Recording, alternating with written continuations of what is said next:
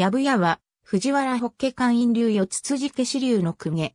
藤原南家の祖、藤原鞭丸の子孫である、藤原半旗を祖とする。半旗は、後白河院の近親で、娘、典子が、純徳天皇の聖母となり、造作大臣。高倉を号した。価格は、ウリン家。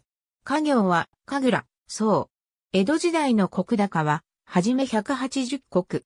後に150国。戦国時代の天文15年に、三位、則久の時に中絶する。以後、複雑な経緯をたどる。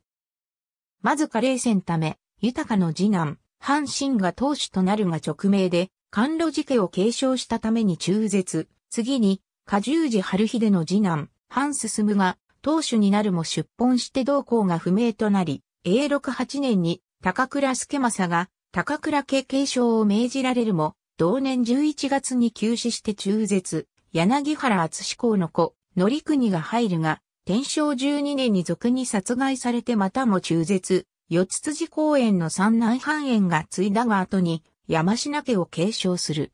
しかし、弟にあたる、公園の逸を継ぐ吉が、ようやく再興を果たした。その後、継ぐ領は加盟を、高倉から、藪と改名する。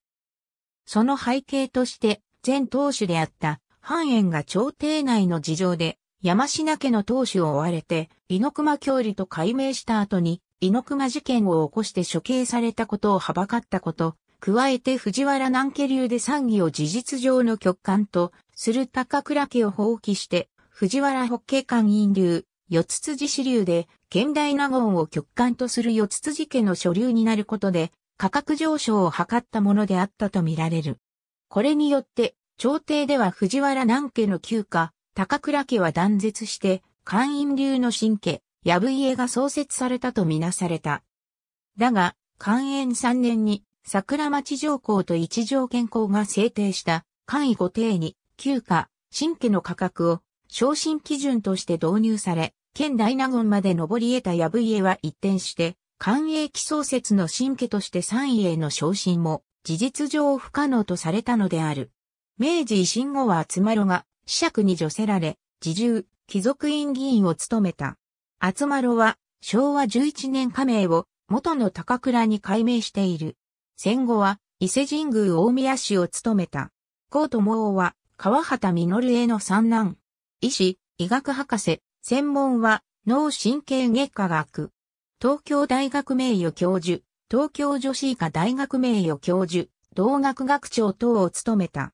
藪や国立歴史民族博物館の休校給料取調べ帳データベースより算出した幕末期の藪家領は以下の通り。